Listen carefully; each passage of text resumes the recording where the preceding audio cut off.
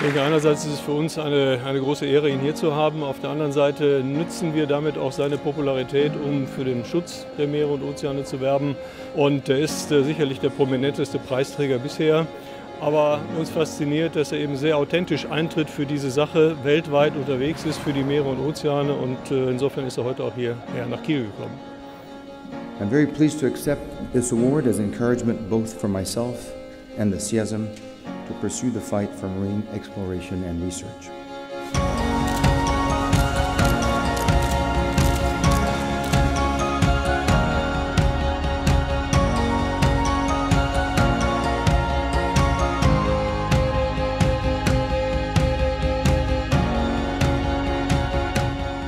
Wir freuen uns darüber sehr.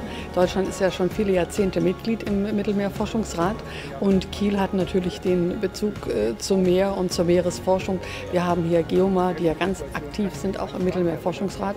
Und deswegen glaube ich, ist es sehr angemessen, dass es diesmal in Deutschland stattfindet und große Freude, glaube ich, nicht nur für das Land Schleswig-Holstein, sondern auch für die Bundesregierung.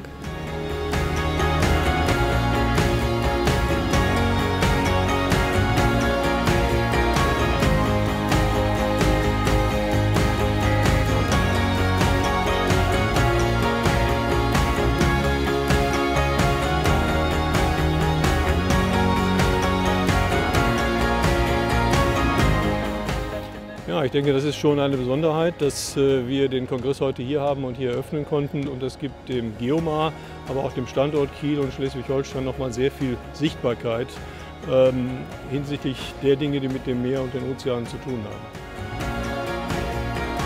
So I'm therefore extremely pleased to declare officially open here in Kiel the 41st International CIASM Congress. I wish you a most productive and successful week.